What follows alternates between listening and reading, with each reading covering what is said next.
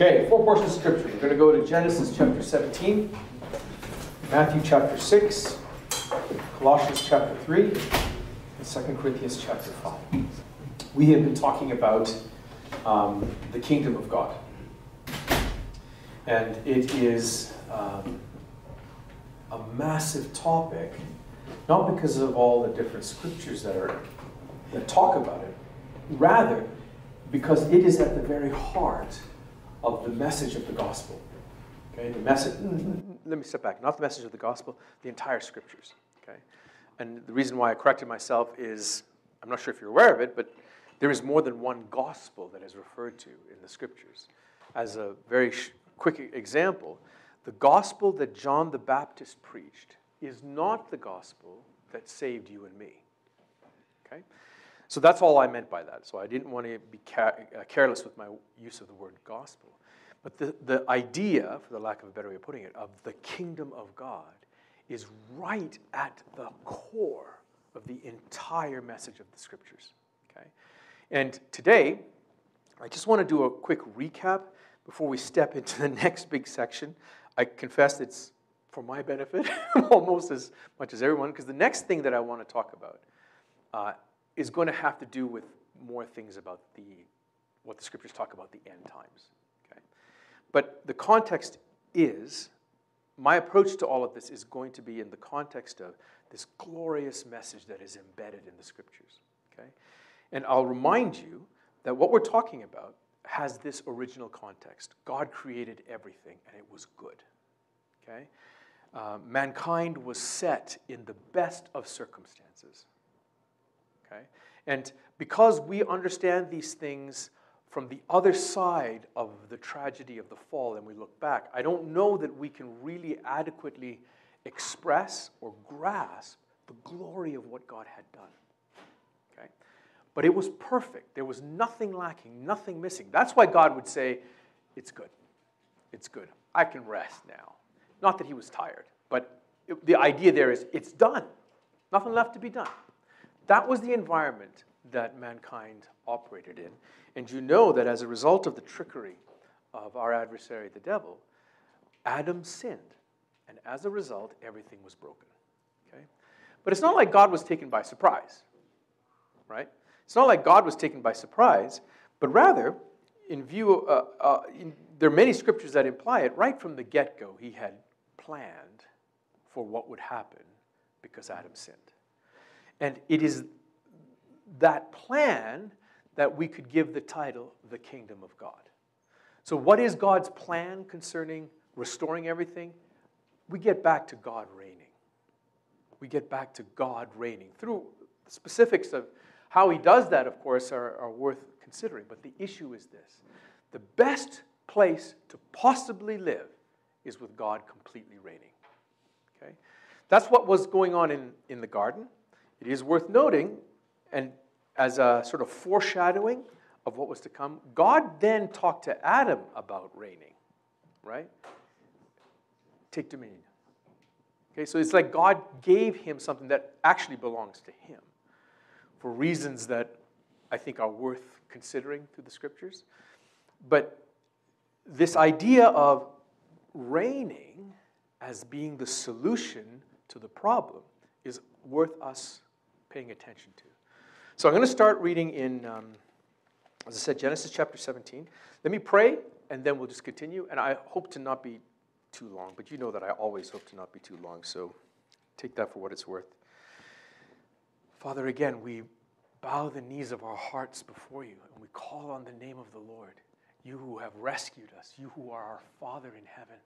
We want your name to be glorified and hallowed in us and to us and then through us, Father. We want to see the glory of the Lord and the glory of what you have done. And we want to live this life in view of seeing how marvelous you are and excellent you are and how perfect you are in all your ways. And so we ask for help. We ask you, Holy Spirit, to teach us this morning. I ask for utterance in the opening of my mouth, that by your grace, what you want each one of us to hear would be set forth before us. But I also ask that you would set a guard and blow away and make of no effect what is merely the opinions of this man. I thank you, Father, that you yourself, the living God, is present here with us, that your Spirit has come to teach us, and we ask for help. We ask for help. We commit ourselves into your hands. And I just thank you, Father. Be glorified. May Jesus be glorified in this time and in the times that flow from this time the days and the minutes and the seconds that we have before you ahead of us from today, Father. We just thank you for that in Jesus' name. Okay, so from the fall onwards, there was already in motion through promises, there is coming someone who's going to reign, and this will be the solution to the problem, right? Right from when the fall happened um, to God, uh, to Eve, God said, and your seed will crush this one. Okay? And then through the revelation that's contained in all of the Older Testament, for example, there's a building up of this promise. And we get to the stage in this story where God chooses a man named Abram. Okay? Just the guy, nothing special. He's living in Ur of the Chaldees, and God appears to him and says, I want you to leave. Leave everything you know. I want you to leave your country, your family, your father's house. I, I put that in the wrong order. And I want you to go to the land that I show you. And I will make a great nation of you. Okay? And then he throws this little line in. And through you, all the nations will be blessed. Okay? And I think everybody here has enough knowledge of the scriptures to know that this was where um, the, uh, God started to deal with this man, Abram, because through him, he was going to set aside a people that was going to glorify God. They were supposed to walk with God, and they were supposed to therefore show everybody else how marvelous God is. It didn't quite work out that way, okay? Because the Jews were people like us. Okay? But my point for today is to say, again, buried in there is this thought of there's somebody coming. Okay? So I'm going to read to you in Genesis chapter 17. Normally we'd go to, to 12 and you'd see the promises there, but I want to jump ahead in the story of Abram. And um, we're going to read from 17 verse, what did I say? We read in verse 6 onwards. Well, let me start back at the beginning and then jump to 6. Now, when Abram was 99 years old, the Lord appeared to Abram and said to him, I am God Almighty. Walk before me and be blameless. I will establish my covenant between me and you, and I will multiply you exceedingly. Abram fell on his face, and God talked with him, saying, As for me, behold, my covenant is with you, and you will be the father of a multitude of nations. No longer shall your name be called Abram, but your name shall be Abraham, for I have made you the father of a multitude of nations. I will make you exceedingly fruitful, and I will make nations of you, and kings will come forth from you. I will establish my covenant between me and you and your descendants after you through their generations for an everlasting covenant, to be God to you and to your descendants after you. I will give to your descendants after you. I will give to you and to your descendants after you the land of your sojournings all the land of Canaan for an everlasting possession, and I will be their God. I'll just stop there and just point out to you part of the promise made to Abram was kings will come forth from you. Okay. Was that? I was going to mention that you mentioned kings. Kings. Kings will come forth from you. Okay. Now, it's an interesting thing. And we've talked about this before. The revelation that God has given us in the scriptures is not like mathematics right? It's not like, let me state my starting assumptions and then here let me deduce or uh, derive for you all the conclusions. It's not like that because we aren't, we aren't so precise and mathematical ourselves, but rather God's revelation of his plan comes in bits at a time and is um,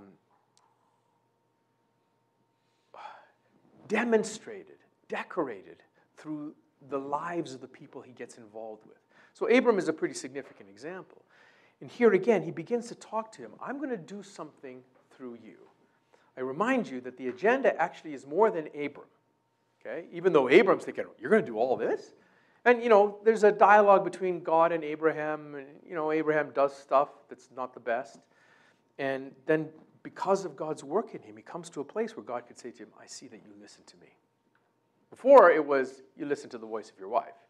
But now I see that you listen to me. And because of that, off we go. So, it, of course, God's involvement with Abraham made a big difference to Abraham. But God was also setting the stage for I have a bigger agenda than just one man in his house. Through you, all the nations will be blessed. Fast forward, you know that um, he uh, makes a promise to a descendant of Abraham named David and said, There will be someone who will sit on your throne forever.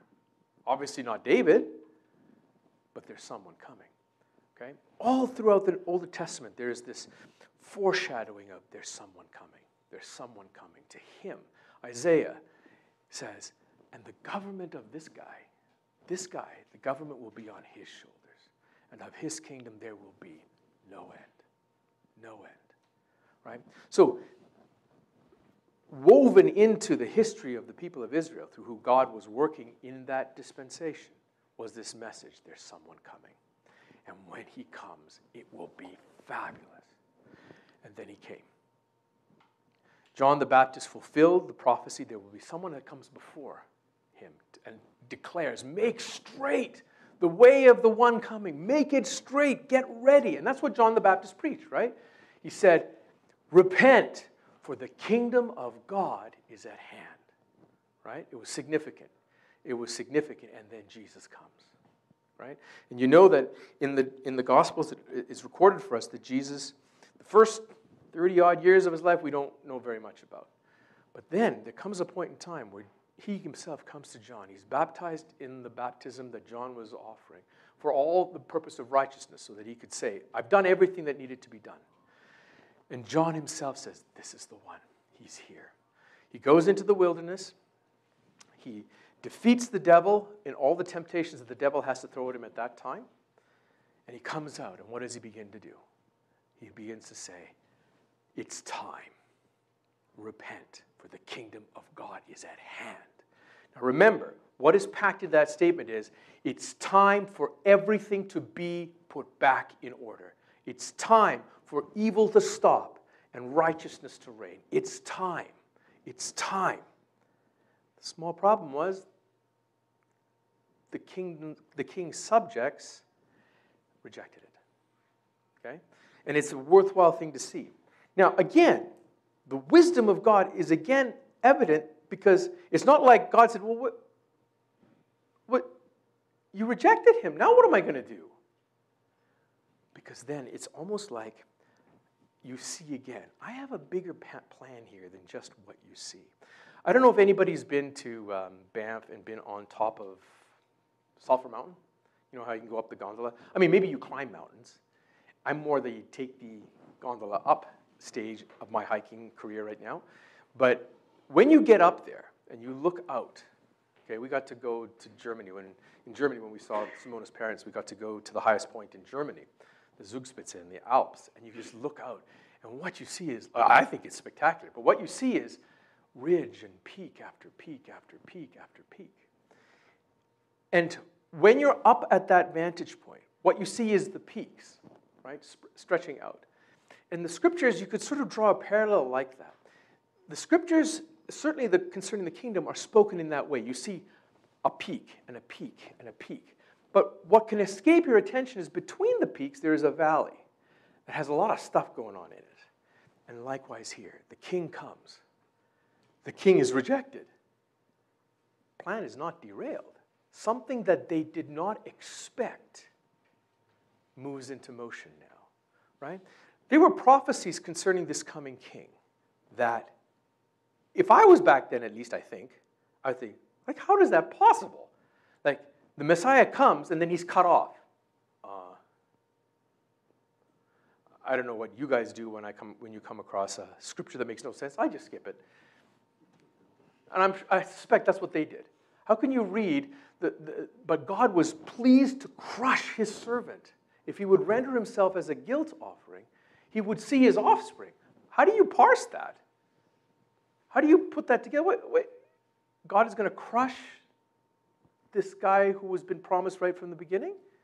And if he gives himself as a guilt offering, he's going to have. Like, how does that work? There was no thought about that. And you know that in the Newer Testament, uh, is it Peter who writes, the prophets of old who prophesied of this grace that would come to, they longed to know, what are you talking about? And all that was told them was, it's not for you. It's for somebody yet to come. And that's the time that we're in, right?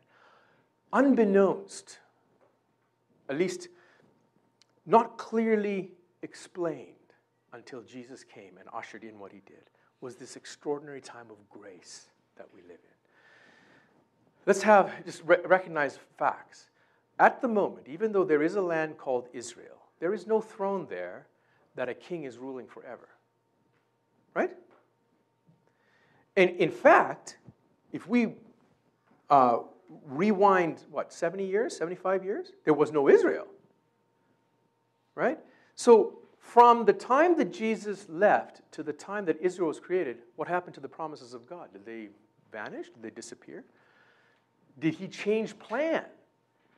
Now, I know that there is. Uh, there are many believers who think, well, God shifted. Because the Jews reacted the way they did, he changed plan. I'd like to say that doesn't make any sense. Because God is God and he knows the end from the beginning.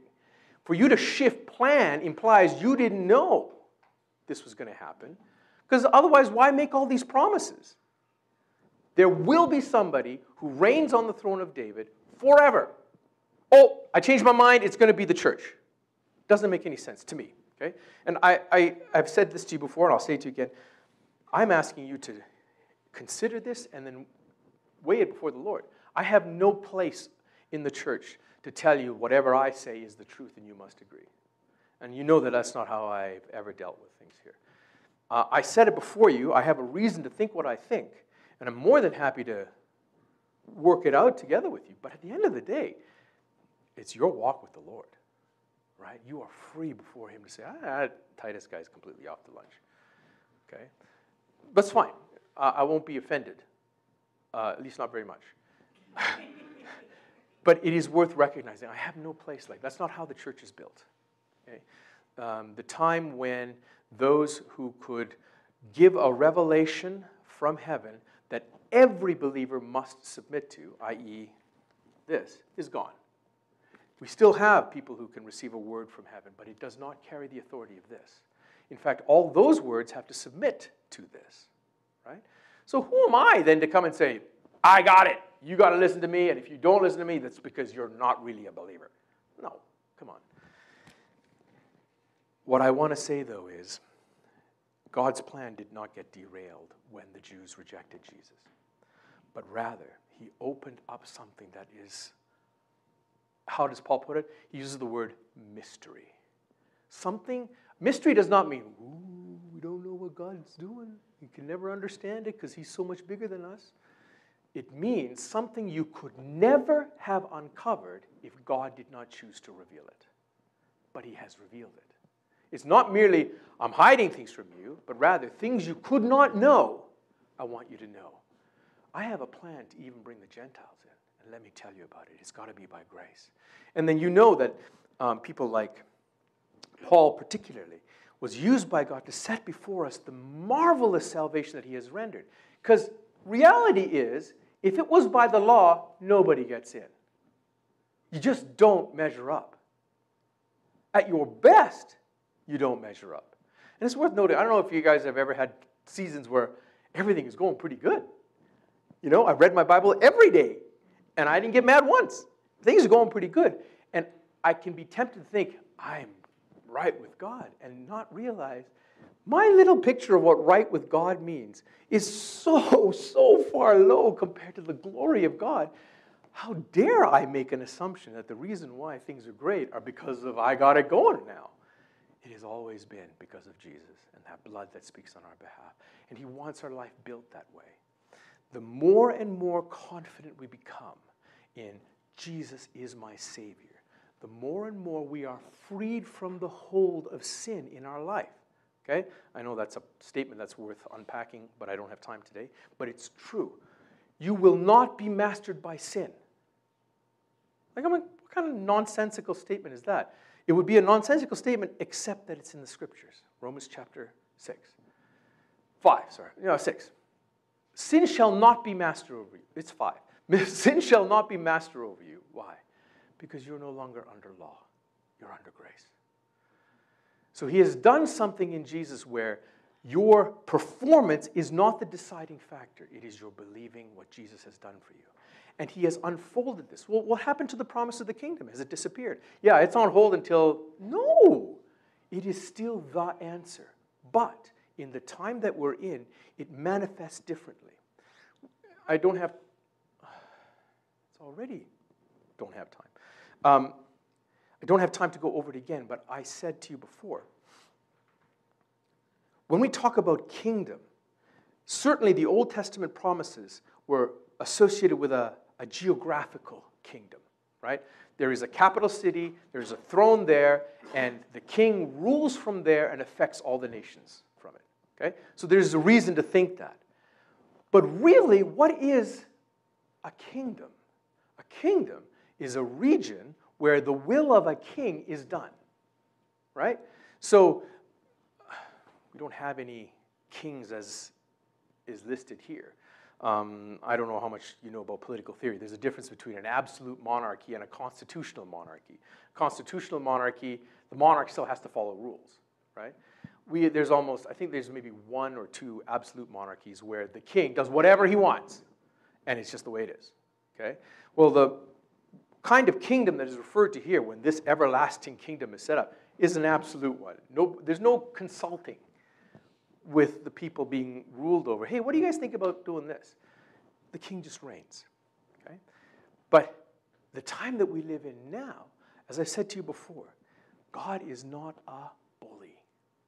He is not a tyrant. And this is something that is maybe a little bit hard to get our minds around, but it is the example of scriptures. The king came, right? Jesus the Messiah came. So what did he do? He went to Rome knocked Caesar off, sat down, and said, Now it's my time. No. The king came how? As a little baby born in a manger. Who did he speak to first? Who, who found out about it first? The lowest of the lowest of the low in society. Shepherd is not this romantic picture of the guy with the crook and, you know, looks cute and all that. It was the worst job you could have. That's who he comes and announces the king is here. If this was an absolute monarchy in the sense of I am going to reign now, is that how he would come? Absolutely not. And when they rejected him, what was his reaction? Forgive. So we have plenty of reason to realize God does not bully people into doing what he wants. And if you are open hearted to that, it explains a lot of why what happens on the earth happens. God does not always get what he wants in a circumstance. And that is a terrifying thought, but also an encouraging thought. Why do certain things happen in people's lives? It's not because God wants them harmed. I will, I will I pray that the Lord strengthens me to the extent that to my grave I will say, God is not the author of evil. He is not. He is the author of deliverance. I can say that to you, and I said it before you again. All you got to do is look at how Jesus behaved, right? Because you know that in Hebrews he says, He is the exact representation of what God is like. If you want to know what God is like, don't go and find curses in the Older Testament. Yes, they're there. But if you really want to know what God is like, look at Jesus. And what did Jesus do? A bruised reed he did not break a smoldering wick he did not put out. To those who thought they were something special, he got into it with them. Not because he hated them or they were extra evil, but they could not see how blind they were. They could not see how blind they were. And I don't think Jesus was arguing with them as much as, hey, wake up. You're putting your trust in yourself, and that will never do. And they got upset with him because he wasn't doing what they thought the king would do. And you know what the king would do? They would, he would recognize how right we are. Yeah, we've been waiting for you. Oh, I'm glad you guys are here. Now it can work. That wasn't his reaction. Your dead men's tombs filled with whitewashed bones. That's not what the is supposed to do. And they began, he began to unfold. This kingdom is not about an outward, outward appearance, it is about an inward condition that then spreads out from you and affects your life and the lives around you. So, in other words, the kingdom of God, when we talk about the will of the king, your kingdom come, your will be done in this time as it manifests, is all about God getting what he wants in a circumstance because someone like you showed up. Okay? The next passage I want to read to you, sorry. Colossians chapter, uh, let's go to 2 Corinthians chapter 5, and then Colossians chapter 3, and then we'll finish with Matthew chapter 6. 2 Corinthians chapter 5.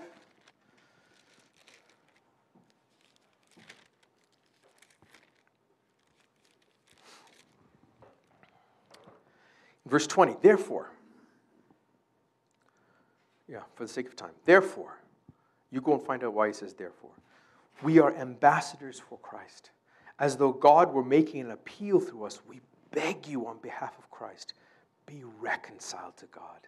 He made him who knew no sin to be sin on our behalf so that we might become the righteousness of God in him. So, what are we now? We who have put our trust into Jesus. You know, everybody who is going to have a place with God, a, a relationship with God, is going to be through your faith in Jesus, right? Nobody comes to the Father except through him. It doesn't matter your uh, enlightened thoughts about the principles that are in all these kinds of religions. And then we don't got to deny that religions have interesting concepts and principles. And, you know, quite honestly, if, if being right with God could be based on performance, there's some religions that are pretty hardcore, but it's not, right? It's not based on your performance. Rather, someone took your place. And if you are willing to believe, what he did is accredited to you. And because of it, you have access to the throne of grace and you can live your life in fellowship with the living God. That's what's on offer. That's what's on offer. And part of that then becomes I want my life to be an appeal to everybody else. Hey, look at what he's like. Come, come. We beg of you, not the kingdom is here. If you don't listen to me, we're knocking heads. That is not the character of the kingdom of God. It is an appeal. I beg of you, be reconciled to God. Do you see the character of Jesus in this message that is set forth? I beg of you. Do you remember at one point in time, just before he is about to be crucified, he's coming into Jerusalem and he begins to weep. How I wanted to gather you, but you would not have it. So it cannot be that he came with a crown and he's ready to conquer. Not yet. This time that we live in is a time where God is appealing. Come, come. And what is your place? To be an ambassador. We represent a king. What does an ambassador do? It represents a foreign government in a country, right? So the ambassador of the United States represents the interests of the United States here in Canada. We as ambassadors represent the interests of the King of Kings in a land that does not yet bow to him. And what is the message? This is a time of grace. Come. Even you could come. Even you could come. Because if I could come, for sure you could come. Come, come. So this is the character of the kingdom of God. And it is to manifest, Colossians chapter 3. What does it look like? You know that there's more than one place in the Newer Testament where um, the person writing uh, describes, he, usually if it's Paul, for example, there's a pattern where he first talks to you about what God has done, what Jesus has done for you, and then says, So, you ought to do this. Okay? That's what I'm taking here in Colossians. Last time I took you to Ephesians, but in Colossians chapter 3, so, verse 12 as those who have been chosen of God, holy and beloved. Knock heads is not what he says. Put on a heart of compassion. kindness, humility, gentleness, and patience, bearing with one another, and forgiving each other, whoever has a complaint against anyone. In other words, let the character of the kingdom of God manifest through you. Let this kingdom that you represent show up through you. Why? As I've said to you before, and I don't think I invented the statement, there are people who wanted to be a Christian and then they met one. And it completely turned them off. And I wish I could say that I've always been the example of what you want to be as a Christian, but I'm sure I've turned people off. Why? Because what I manifested was not the kingdom of God. We end in Matthew chapter 6.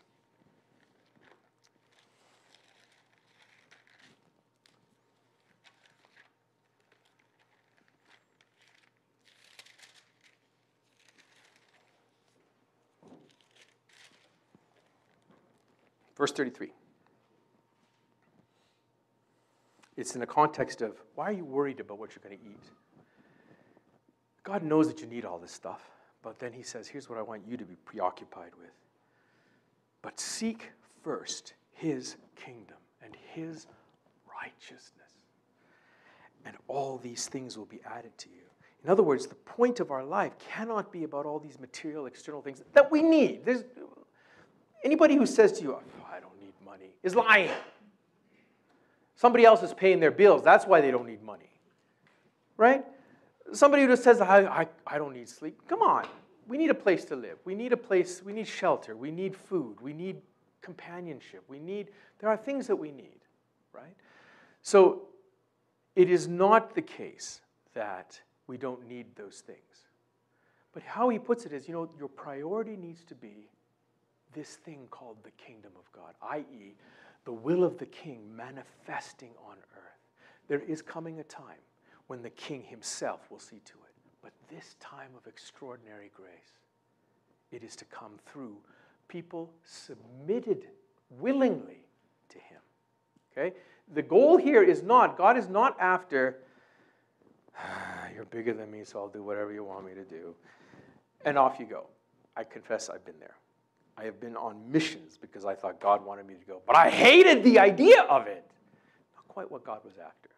Okay, and I will. I'll just add. I am astonished at the extraordinary grace I met on that mission trip, even though I went on the completely wrong attitude.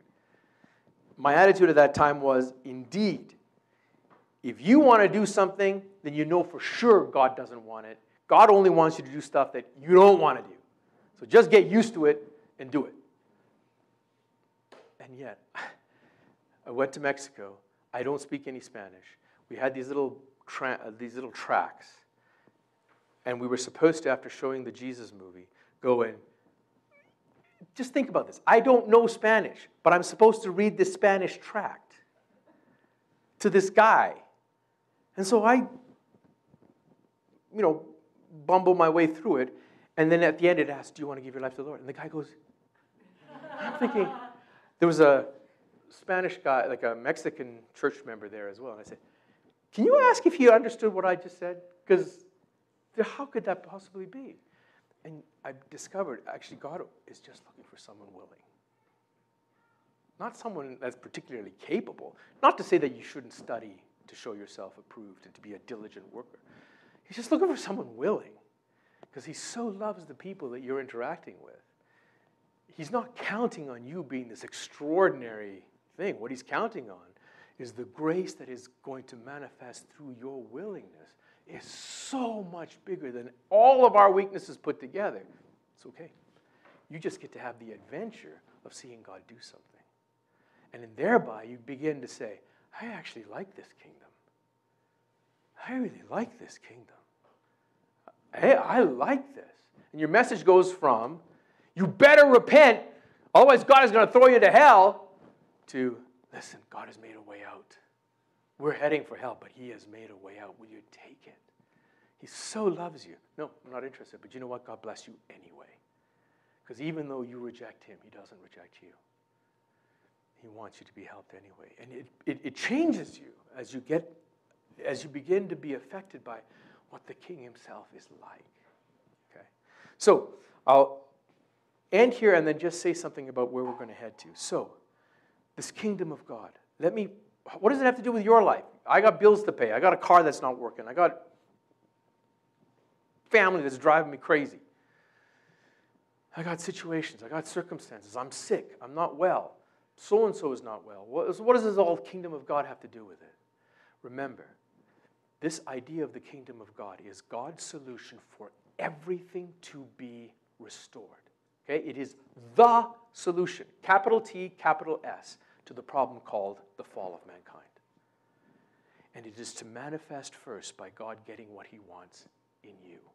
So every place where you say to the Lord, I want your kingdom, I want your good pleasure here. When I have to respond to this witch of a sister that I have, I want you to be pleased with it because if your kingdom is coming, it's the best of all circumstances. So, what I'm after is you getting what you want in my circumstance. If you choose to submit your life to that pattern, I know it's not like a once and done thing, we grow in it. There are things that are easy for me to submit to, there are things that I am not ready to submit to, if I'm honest. i'm not that I can identify them for you. I don't wake up my morning and say, let me think of where I can rebel against the Lord. But that doesn't mean there aren't places of rebellion in my life. I just haven't become aware of them yet. And in His kindness, this is the wonderful thing about our Father. He doesn't require you to be where you will be next Saturday. He just requires you to be here today and respond to Him today. Here, I don't mean the church service, I mean where you are today. That's where He'll meet you. We get preoccupied. I ought to be doing this, I ought to be doing that. Actually, the only thing you ought to be doing is listening to Him today. He'll take you to the next place. He places me on my high places. He makes, Psalm 18, He teaches me to bend a bow of bronze. He makes me to stand on my high places. Not, get up there and let me know when you get up there. That's not Him. So, choose, take at least this from this section of the messages concerning the kingdom of God.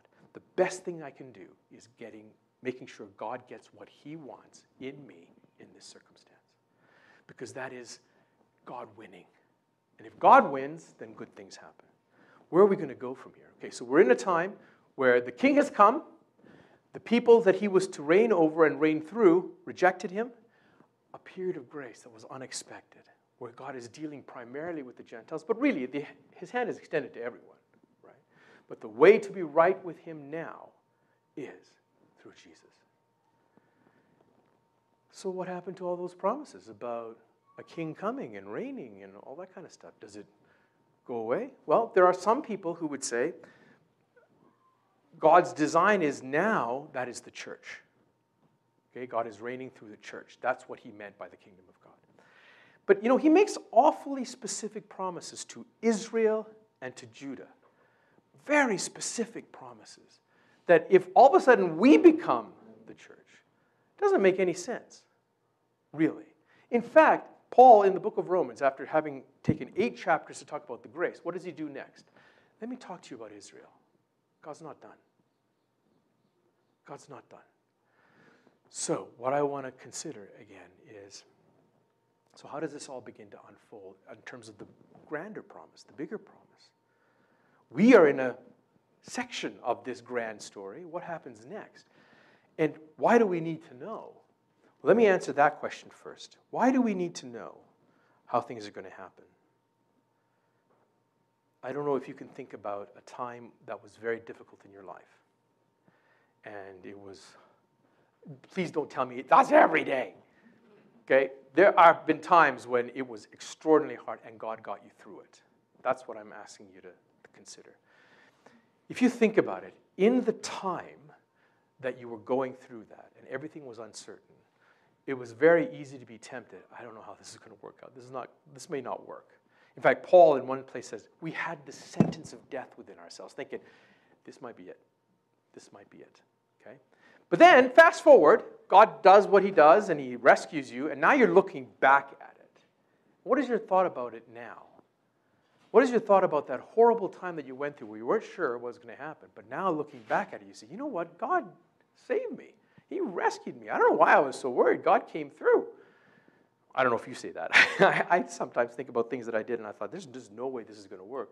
And then it works. Not it worked, meaning everything fell into place. God did something. And I'm thinking, why was I worried in the first place?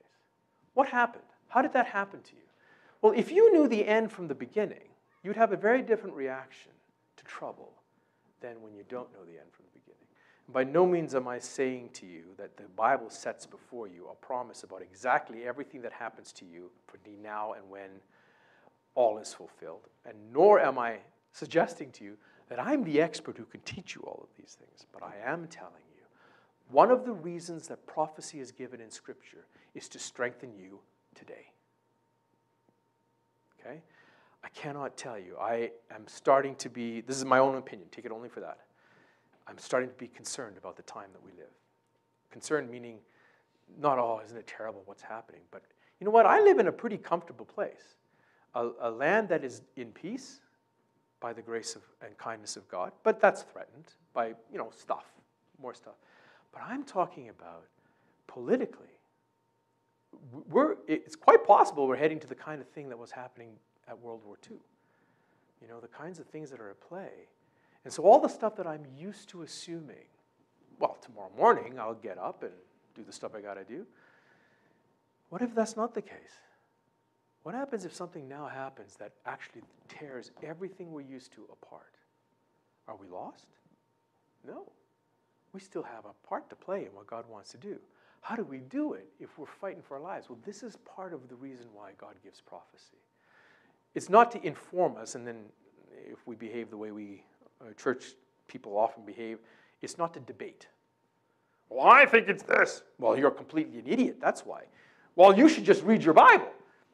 As soon as you see those kinds of debates, you say, both of you guys are saying to read the Bible, and yet you're arguing with each other. Something is not quite right here. It's not to have debates, it's not to have philosophical discussions. I mean, don't get me wrong, you, people who know me, you know I love philosophy and I love the deeper, what, what is going on underneath it. But its purpose is to strengthen you for today so that you have courage to put your trust in God today. Whatever comes. Do you remember in, in, in the book of Hebrews, there's a list in Hebrews chapter 11 where he talks about all the things that people of faith went through. And it kind of ends not with the final chapter, but and stuff like this. And how did they do it? You know, there are people who were willing to be sawn in half, people who were willing to be stoned, like you saw Paul, how he went through it. How do you do that? How does a person do that? Jesus himself said when one of his disciples took a sword and cut off the ear of the servant of the high priest. Jesus himself said, Hey, don't you realize I could just ask and a legion of angels would be here? What is it that causes a person in a situation where he could die. He chooses differently. What is it? It is a grace that comes from God that we are going to be in need of. Uh, I'm not threatening anybody here. And I'm not trying to say, oh, yeah, of course, everything. It, it could very well be that we have the next 50 years in peace. Okay? I'm not trying to tell you. But whatever it is, you have to be ready to stand. You have to be ready to stand holding fast to what God has offered to us. And you get to see two things. One, the effect of the grace of God on you, and two, the effect of the grace of God on those around you. And God gets what he wants. Okay? That's why we need to consider these things. Yes, it's interesting considering what is the preterist position versus the, you know, okay, great, marvelous, wonderful. The scriptures are this grand adventure book that is open to you, and God saying, Follow me. Come and find out. Come and find out but its real purpose is to get you ready for the exploits you've been appointed to do in the time that we live. Okay? And that's why I think we need to consider it. God is just extraordinarily good. He's just astonishingly, marvelously more than enough for whatever you and I are going through. That's where we want to live. And that's where we want to stir other people to live. Right? I'll just end by saying, you know, if you have no idea what I'm talking about, to you, being a Christian just means you go to church. Please come and talk to me because that's not what it's about. It's about a friendship with the living God who made all things that you begin to see what you could never have seen before. Just the depth of the love of God for you and what it means. What it means. What does it mean that God loves you so much that He gave His Son for you? What is that supposed to accomplish? That's what this is about. Father, we now just present ourselves and ask you to win us over to your perspective. Win us over to the truth. Where we are still after our own way, just come and rescue us, Father, in Jesus' name.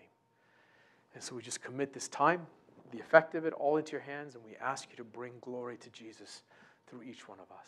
And we thank you for that in Jesus' name. Amen. Thank you for bearing with me.